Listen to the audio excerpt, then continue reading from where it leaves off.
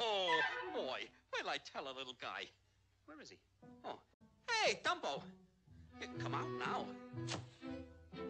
Golly, maybe I scared him too. Look, Dumbo, I'm your friend. Come on out, won't you? You're not really afraid of little me, are you? No?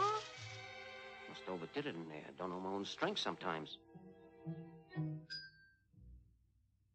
Dumbo, look what I got for you.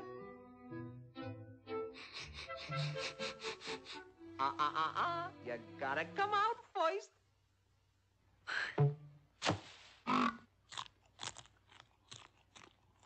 Too bad you don't trust me. Of course, I thought, uh, well, you, you and me, uh, we might get your mother out of the clink. But I guess you wouldn't be interested. So long, Dumbo.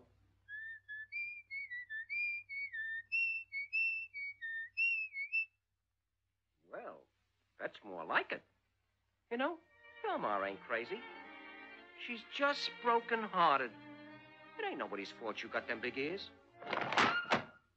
Oh, boy, I stepped in at that time. Aw, oh, gee, Dumbo. I think your ears are beautiful. Sure. As a matter of fact, I think they're very decorative. You know, lots of people with big ears are famous.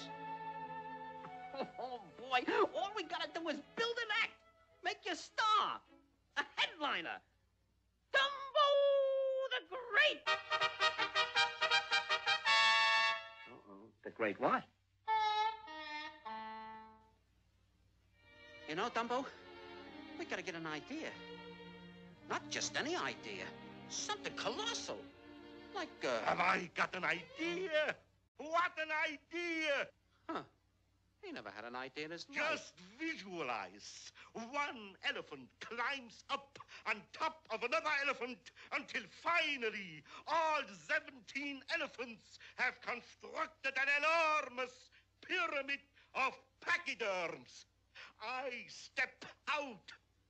I blow the whistle. The trumpets are trumpeting. Yeah. And now comes the climax. Yeah? What is the climax? I don't know. I know he never had nothing. Well, maybe it comes to me in a vision while I dream.